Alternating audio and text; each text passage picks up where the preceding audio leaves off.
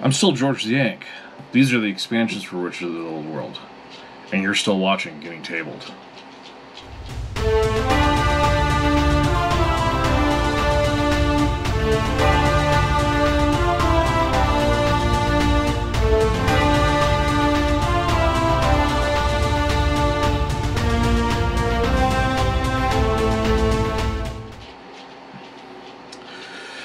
Hello, future people, and welcome to part two of my unboxing adventure with Witcher the Old World. Today we're going to be covering the Mages, Legendary Hunt, and the Skellig. I'm going to say Skellig. Um, something like that. Uh, these are the expansions for Witcher the Old World. Uh, mages obviously add in mages. Legendary Hunt adds in um, more things to hunt. And Skellig, from what I can uh, gather, adds an extra part of the map to expand the gameplay. Um, we're going to dive into these and take a look at them. Alright, first on the list, we're going to look at the mages. Um, obviously, mages are mages. They're the spellcasters. So you got the Witchers who use their swords and, and whatnot. Mages, well, they use their magic. And I think this is kind of a, a good, simple idea to increase uh, gameplay slash replayability because you're only adding like one extra class and it's pretty easy to keep you know the extra you know when when you only get two it's pretty easy to keep it you know balanced uh, looks like there's a little rule book here for the mages. Uh, school scoring, wooden tokens, uh, energy marker. It looks like they have their own dashboards. Uh, little game setup to, to use the mages with the, the rest of the game. Uh, and then it has the new uh, card types for the expansion, obviously. Um, don't know if I noticed this on the core rulebook, but here we got the other what the assemblage means. A little thing of tokens. And a little extra track board for the deck. Uh, no extra monsters. Pretty pretty simple, straightforward uh, expansion here.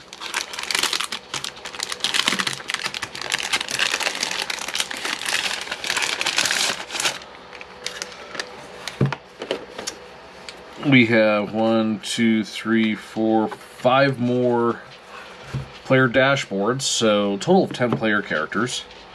Uh, Alzur, Ardia, Kikara, Othar, and Philippa. Um, again, not not huge in this uh, world yet. I've I've only recently really gotten into it, so be kind to me with the, the pronunciations.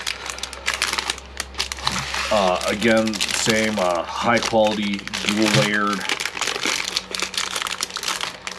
dual layered cardboard.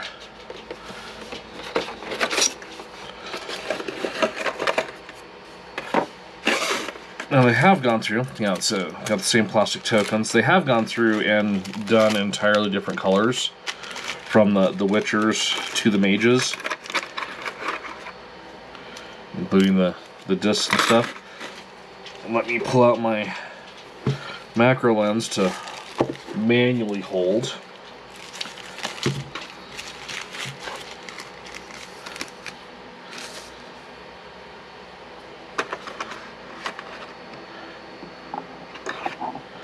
Alright, let's see here.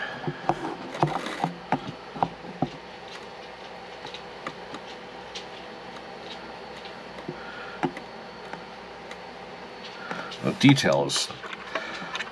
I am stunned at the detail they get on these board game minis for the, the mass production that they, they do.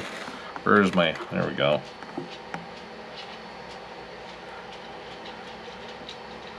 This is this is testing the limits of my coordination with holding the lens, holding the mini, and trying to get it all to view in perspective.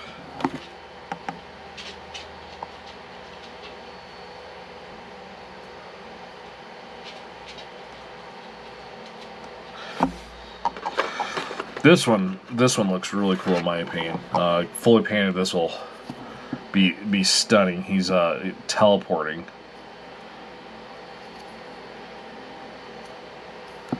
There's the back of it. I think that'll look just amazing. Again, I apologize for the, the quality of the, the camera work here, but I figure it's better to hold the lens and at least try to get some of the detail instead of just not showing you any of the detail. That again is pretty cool.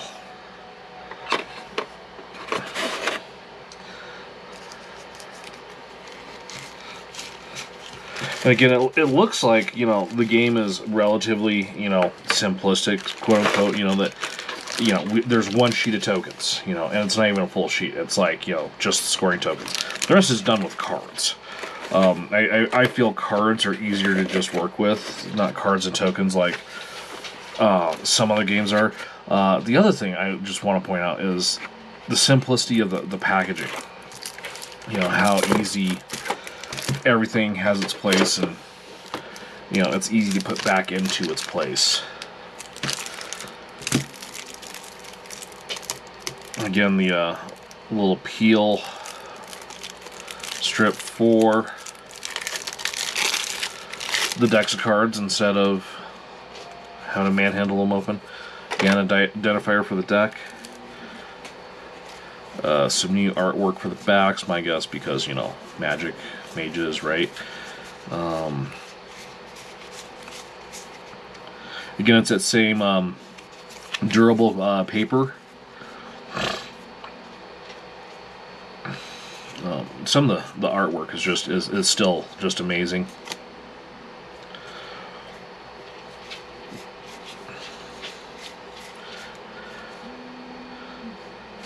Summoning.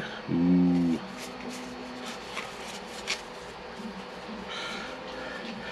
I don't know if I'm going to go through and, and sleeve. Probably should. But I've also been reading some comments on the, the Facebook group that I don't have enough room for the cards out there all sleeved. How, how, is, how are people doing this? So I'm wondering if that's that's an issue.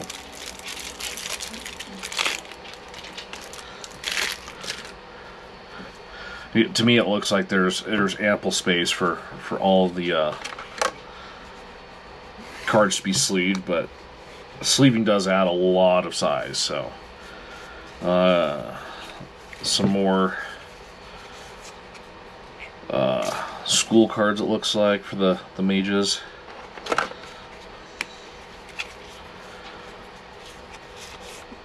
Oh, here we have the uh, the individual casters, I think. Yeah, so here's Philippa's.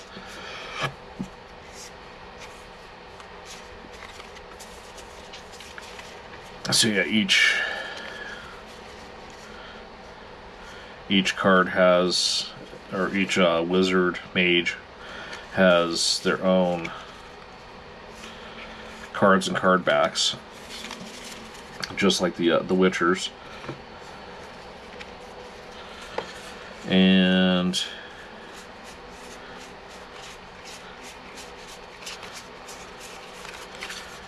more more mage ability cards.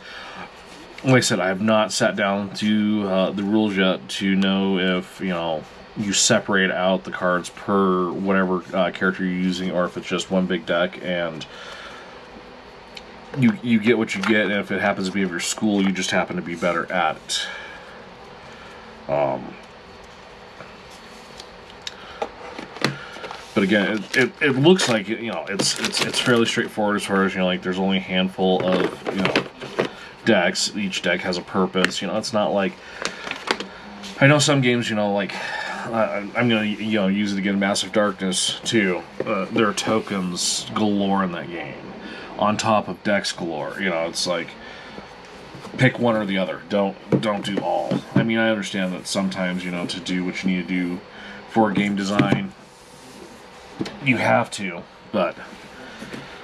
Alright, so next we're going to go on to the Legendary Hunt. Now I have uh, read about people talking about how this is uh, a needed, wanted add-on uh, for solo mode. It adds more playability, replayability. Uh, first of all, the artwork looks great, especially with the, the very super matte uh, paper on the box.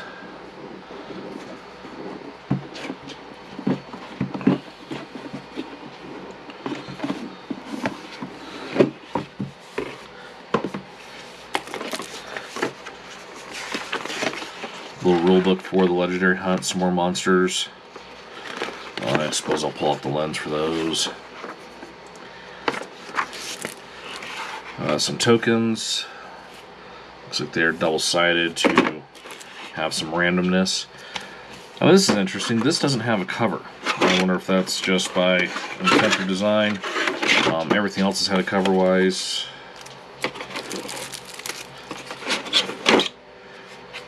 Uh, I wonder if, well, I don't know. I don't know if people would be uh, sleeving these up. Um, that wouldn't fit too well once it's sleeved.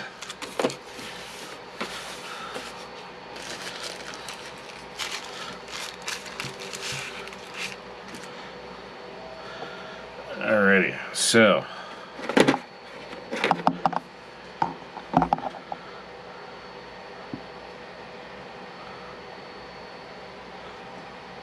obviously this is the, the guy from the cover.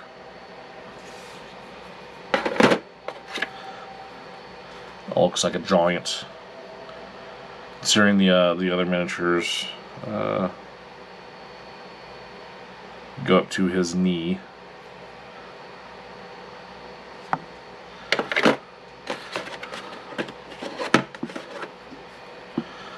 As a big ribbit. Uh, big ribbit with uh, teeth. Again, they've uh, they've numbered the bottom and correlated that you know with a number so that you know if you do pull everything out, you can put it back rather easily. Um, well, how how bad of a guy can this be? He's just a playing a flute on a rock.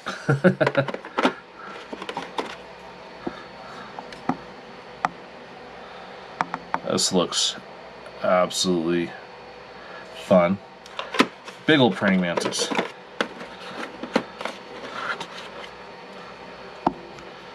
Alrighty, and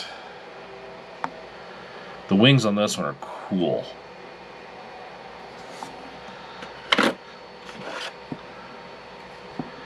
Let's see, is this guy a... Looks like a Cyclops? Yeah, gotta have a Cyclops.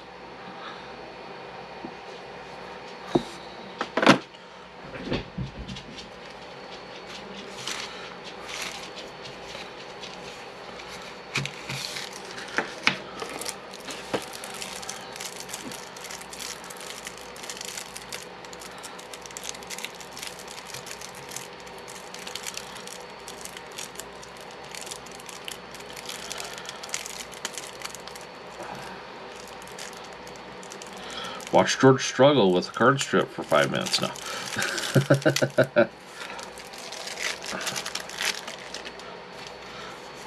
so deck identifier. Uh, very identifiable as identifiable as monster cards with the now it looks like these guys have their own maybe no it's just the artwork I was gonna say with that head matching this dude here, I, I thought it would be like you know, all monsters have their own individual deck. It looks like they're just monster attacks. Um, player takes six damage. That's a that's a big attack.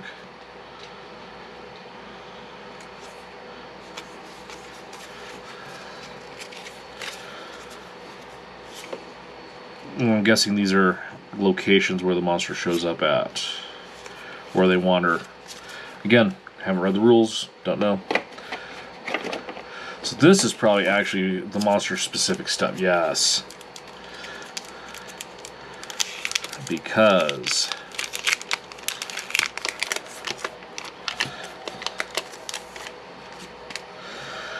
There we go, Golem. Got all of his abilities, description what he is. Um, looks like hit points maybe. There's a Cyclops with 11. Toad. Frightener. Which one's the Frightener?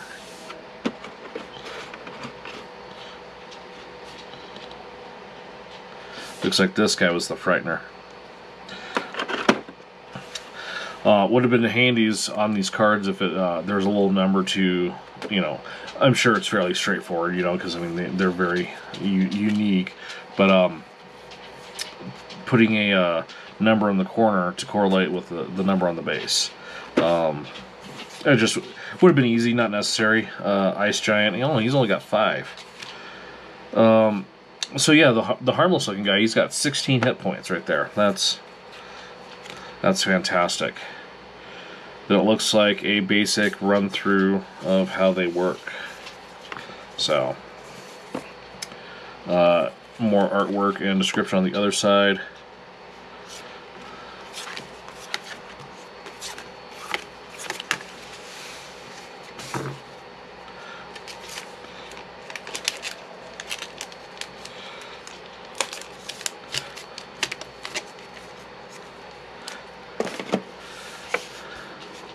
So,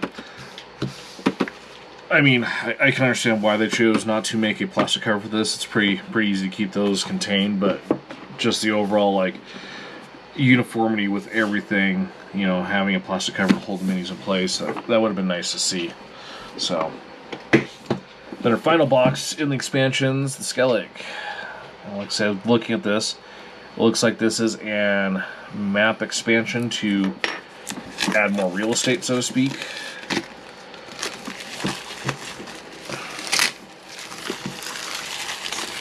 Oh, and ships. So you can go sailing. And come on. Come on, open. There we go.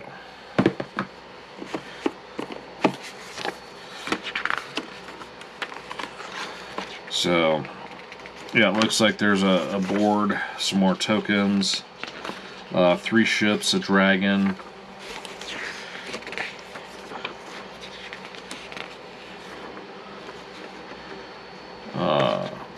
Full run through using the stuff for a turn. Uh, new locations.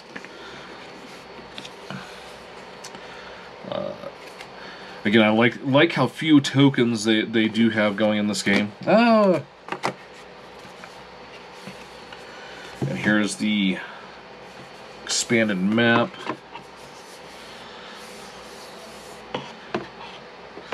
I love how matte they've made everything. There's no gloss to it. It's just very, very low-key. Um, That being said, this game is very heavy on the decks of cards, so not too many minis in here. The three ships are appear to be identical. They are. So won't won't have to do this for too much. Um, pretty simple, straightforward. There's a little indent for the the model with the ring to sit in. Uh, looks like wood planking, cloth sail, Nothing too crazy. It, it is it is a little sailing ship.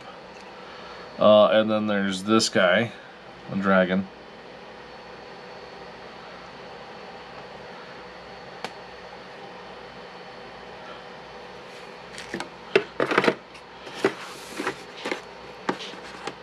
Oh, Dagon. That's a Dagon. Sorry. Sorry. Dagon.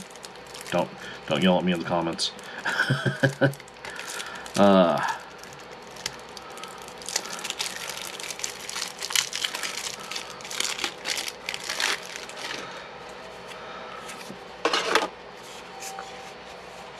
Alrighty, so what we got here? Uh, looks like the Dagon has his own little deck. That's fun.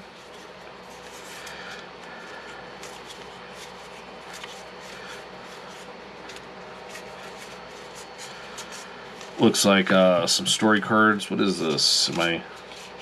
No? Okay. So, looks like uh, locations quest type things.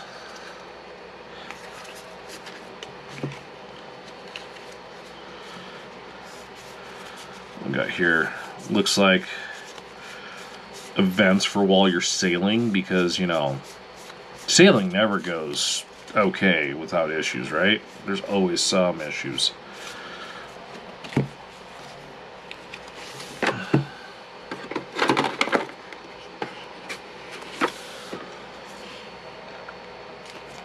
I'm not going to bother to pull this out. It's already sleeved. Um, 15 hit points. Got all its abilities and attacks. More description.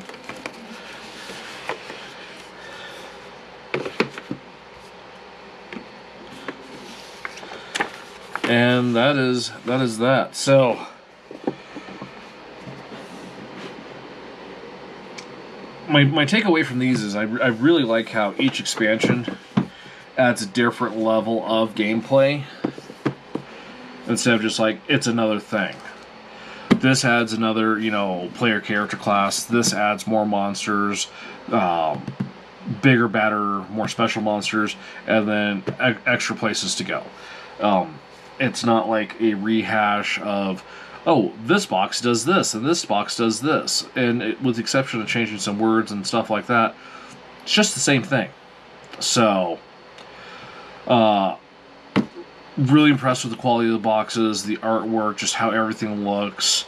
Um, the, the miniature quality is, is absolutely phenomenal. All of the board games I have, I'd have to say it's probably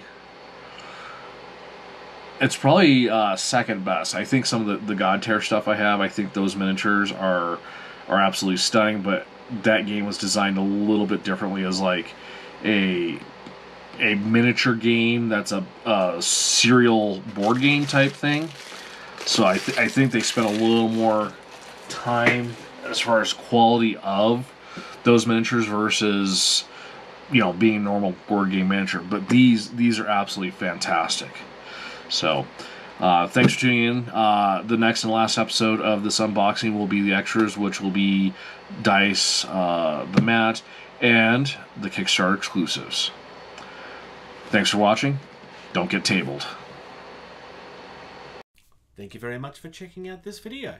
If you're enjoying the content of this channel, please like and subscribe. If you're in a position to do so, please check out patreon.com slash gettingtabled you receive early access to at least 80% of all videos that we put out, and you get access to the video edition of all of our podcasts the day that they're uploaded. If you'd like to check us out on social media, facebook.com slash gettingtabled is the most active.